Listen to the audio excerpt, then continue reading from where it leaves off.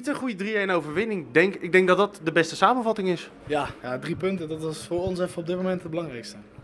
Nou, laten we even beginnen bij die 1-0. Eh, cadeautje van de tegenstander, maar daar anticipeer je wel op. Ja, het was eh, een lastige bal die hij kreeg. Zo'n draaibal is altijd eh, ja, gewoon een kutbal die je dan krijgt. En ja, een klein gokje. En dan pakt hij nu pakt hij goed uit. En dan is het gewoon rustig blijven voor de goal.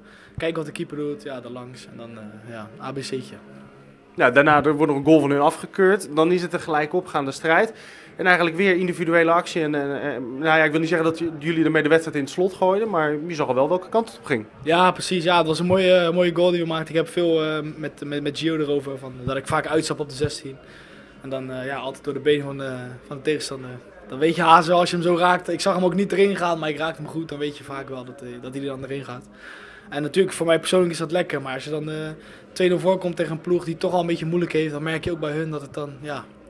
Hun eh, zitten dan niet lekker erin en dan wordt het toch iets minder. En dan, Sam Begal dat je zegt, dan voel je wel dat het onze kant op gaat. Maar bij ons weet je het nooit zeker. Dus dat is eh, dat is een goeie. Ja, Sportpark Dijkpolder kan, kan spoken. Het wordt nog 3-0 in die eerste helft. Heb je dan op een gegeven moment in die tweede helft, toen het 3-1 werd, nog zoiets van...